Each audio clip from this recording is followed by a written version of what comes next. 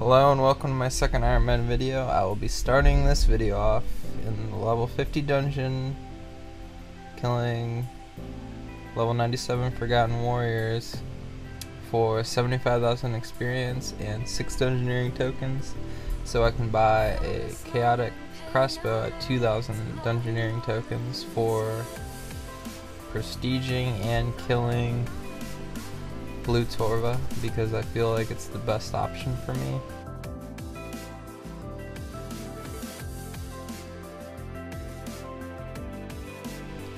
So I'm coming up to 2000 Dungeoneering tokens.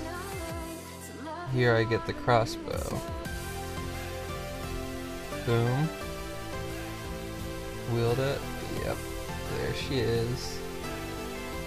Now I go to Blue Torva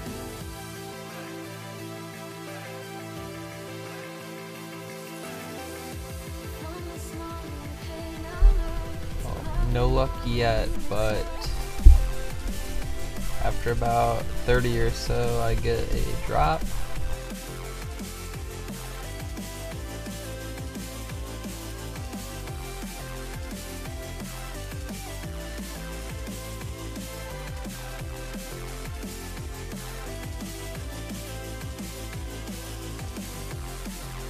Blue Torva plate body, I didn't get it recorded, but I recorded the chat log.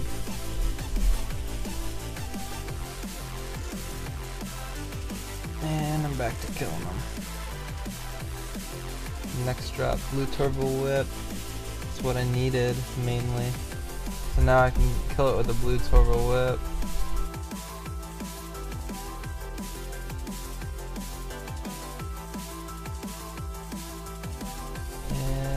Blue Plate Legs. So now I move on to 24k Torva. Um, in hindsight, I would have just moved on to prestiging because I don't think the stat bonuses are that much of a difference to be worth the time it takes to kill hundreds of these to get the full set. Same with the uh, Burst Torva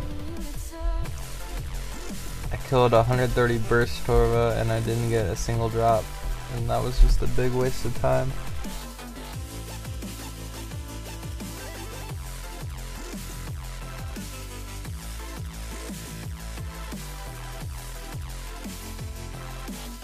Here I get a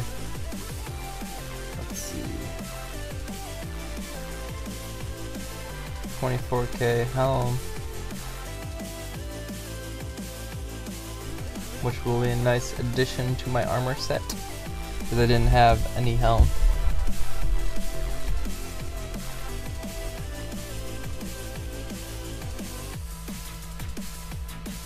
Shortly after I get the plate body, and now I notice, I didn't notice at first.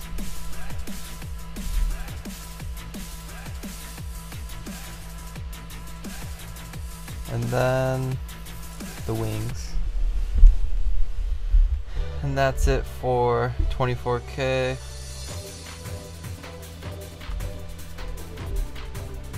I'll just try out the Pokemon minigame nothing. Try out some Pummeler action. Two crystal keys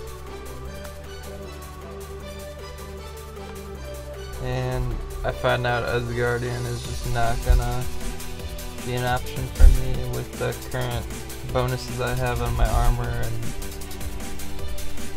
so next episode I will have to do Prestige.